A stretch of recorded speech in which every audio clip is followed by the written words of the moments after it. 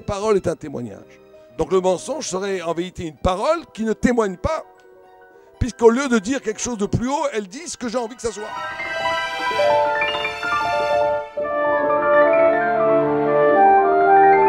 Donc être juif, c'est témoigner de quelque chose et puis de transmettre ce témoignage de génération en génération.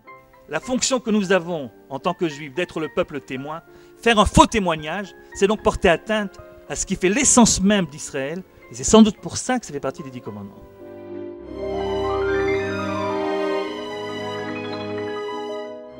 On trahit pas simplement la vérité, on trahit, on profane le Tselem Elohim. Si vous respectez le Shabbat, vous témoignez que le monde a été créé, que Dieu est créateur, et si vous ne le faites pas, vous faites un faux témoignage. C'est que la foi juive est basée essentiellement sur un événement de vérité qui s'est inscrit génétiquement dans leur mémoire sensorielle.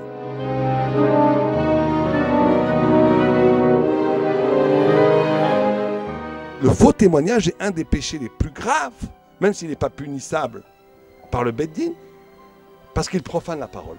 Lorsqu'on parle de parole, on atteint quelque chose de beaucoup plus, euh, essentiel que lorsqu'on était dans le domaine uniquement de l'acte, qui reste quelque chose d'extérieur à nous-mêmes. Parce que la Torah est là, est censée te modifier, te bouleverser, te changer.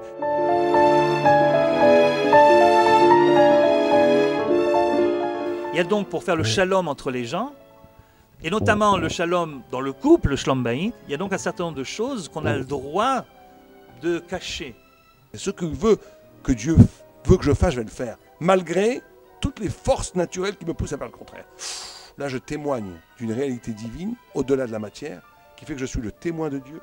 Et à ce moment-là, toutes les brachot, tous les miracles, toutes les réfouotes, toutes les, toutes les ouvertures d'un bouleversement magnifique de la vie sont possibles. C'est parce qu'en parlant sans contrôle de notre langage, nous disons tout et n'importe quoi, on finit par créer les vers qui vont nous ronger de l'intérieur. Il faut savoir, en d'autres termes, que la parole façonne le monde dans lequel, je vis.